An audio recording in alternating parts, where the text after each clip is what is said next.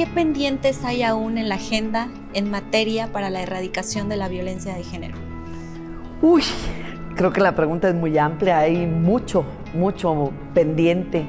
para lograr erradicar la violencia de género, pero fundamentalmente yo le digo que he impulsado alguna reforma para clarificar las definiciones de acoso sexual y hostigamiento laboral en la Ley Federal del Trabajo, porque las que están, la verdad, no, hay, no existe una definición precisa de lo que es una y otra. Incluso la línea es muy delgada entre una y otra y ya hay una reforma constitucional para incorporar estas definiciones de acoso sexual y hostigamiento laboral, pero además introducir penas y sanciones también desde la materia laboral y no solo en el área penal para que sean castigadas estas conductas y lograr cada vez más erradicar la violencia de género.